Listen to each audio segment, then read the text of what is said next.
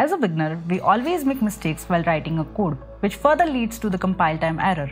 But what if I tell you that there is a way to manage this error before even executing your code? Well, in today's video, we are exactly going to do that in JavaScript programming setup. So this video, we are going to dive into often ignored yet important concept of exception handling in JavaScript.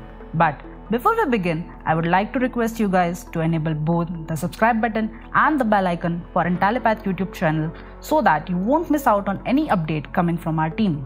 First of all, let's have a look at the agenda we have for this particular session. We'll begin this session by understanding what exactly an exception is. Then we will get ourselves introduced to exception handling. Later we will discuss where and how you can use exception handling. Along with that, we will also discuss the four component of error handling and we will also see some example related to that. Before moving towards exception handling, it is very important to understand what exception is. So, what is exception? Exception are a normal part of software coding and development. An exception is an event which occurs during the execution of a program that disrupts the normal flow of the program instruction. In other words, it is something that happens that was not expected or encountered for in the code. For instance, if you are writing a program and you make a call to a function that is not defined in your program, an exception will be thrown. This is often the result of small error we make here and there, like typos, forget including a header file, or forget initializing a variable. Besides that, we can also get this exception when the assigned memory space to compiler is kinda exhausted. So let's move towards our VS Code to get a better idea for that. If we create a function that calls itself, it is called a recursive function. So let's try to create a recursive function. Uh, let's give it a function a name as a fun one what I'm doing right now is I'm calling uh, fun1 inside it. So this is called a recursive function like this. In order to run this function, we have to call it. So let's call the function fun1 like this. Point to note here is, while creating a recursive function, it is important to give it a proper termination. Without termination, it will keep revoking itself until the maximum call stack size is reached. To resolve this kind of error, proper exception handling is very important. As you can see in this example, there is no proper termination to this code and it throws an exception. So let's understand what exception handling is.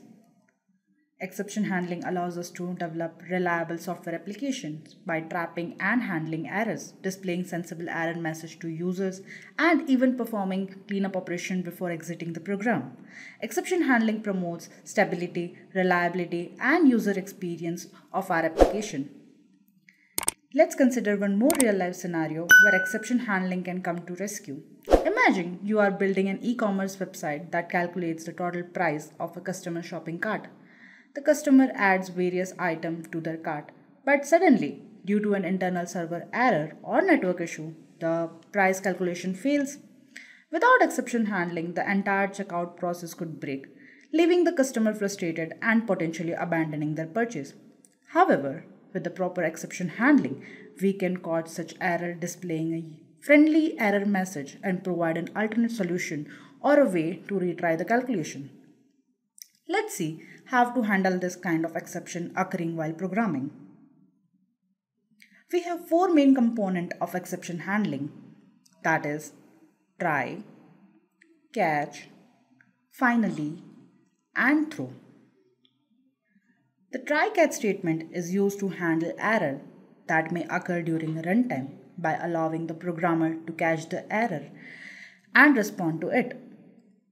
The try-catch statements work by allowing the programmer to write all the code which may generate an error inside the try block. This code is then tested and if it does not create any error, the catch block is not executed, making this a form of exception prevention. However, if any error does occur in the try block, the catch block catches the error and executed any code inside of it.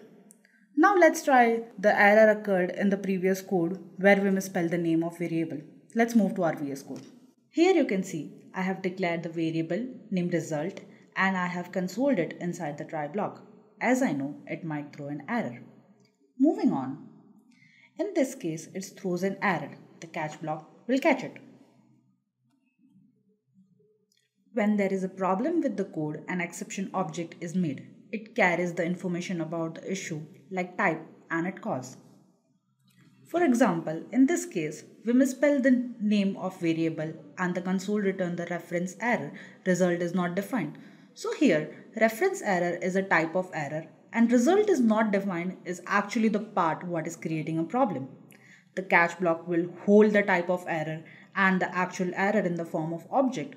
We can later use this error object to showcase what kind of error occurred inside our program.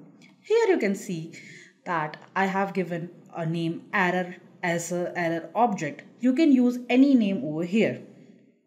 The main point to keep in mind about this is that it will only work in case of asynchronous code.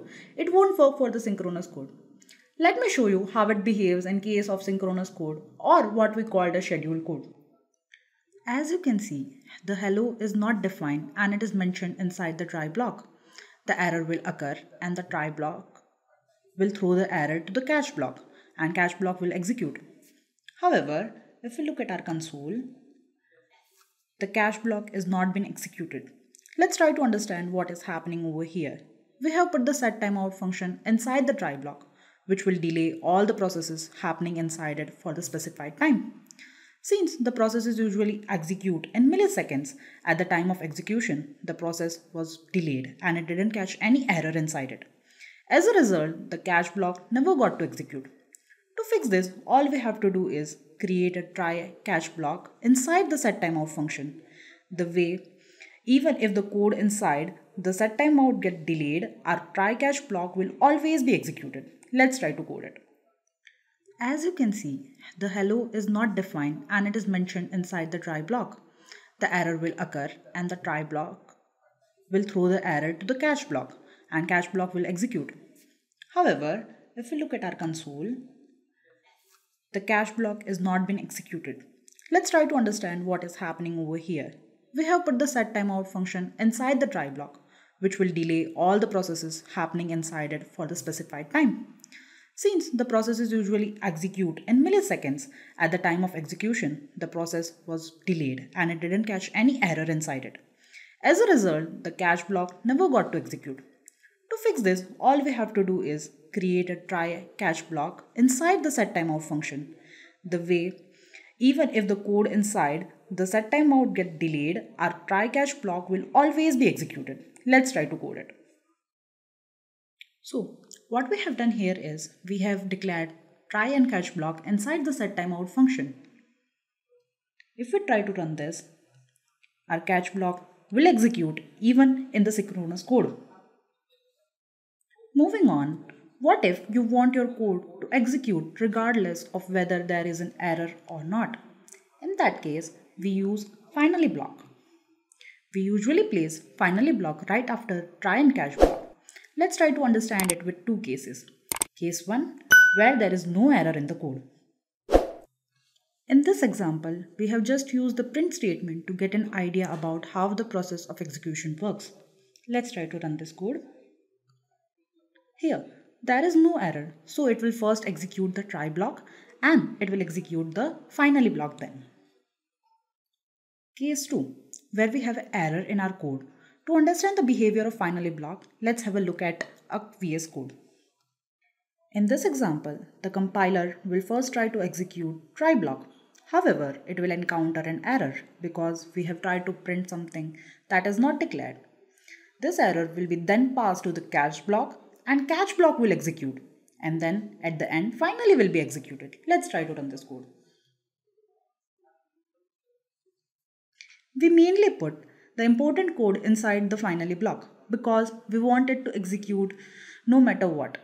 We also use finally to clean up and manage our code. Additionally, it helps us to avoid our program from crashing. Wouldn't it be great if you could create your own error? No worries, exception handling also provides you with that feature where you can create your own custom errors. In programming, we can create custom errors using throw statement. This statement is typically used to provide programmers with the information about what is happening within the code. By employing the throw block, developers can gain a better understanding of any issue or error that may arise during the execution. Let's see how throw works with the help of simple example. Here in this code, we have just used a simple example of try, catch and throw. Here in this code, we are only checking whether the given input is a number or not. If it is, the else statement will be executed and if it is not, if statement is executed and the corresponding error will be thrown. We can use the throw statement anywhere and however we like inside the try block. And whatever is returned inside the throw statement will be passed as an error object to the catch block.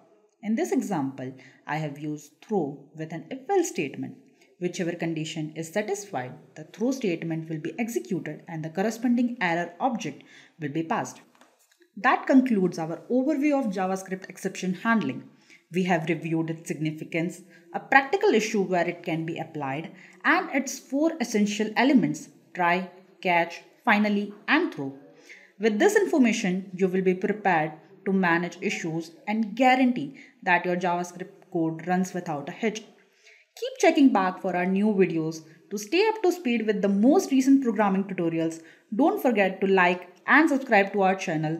Happy coding and thanks for watching. Just a quick info guys. Intellipaat offers full stack web developer course in collaboration with E&ICT Academy IIT Guwahati. Through this course, you can learn everything from front-end web development to back-end web development from esteemed IIT Guwahati faculties and industry experts. With this course, we have already helped thousands of professionals in successful career transition. You can check out their testimonials on our Achievers channel whose link is given in the description below. Without a doubt, this course can set your career to new heights. So visit the course page link given below in the description and take a first step towards career growth in the field of web development.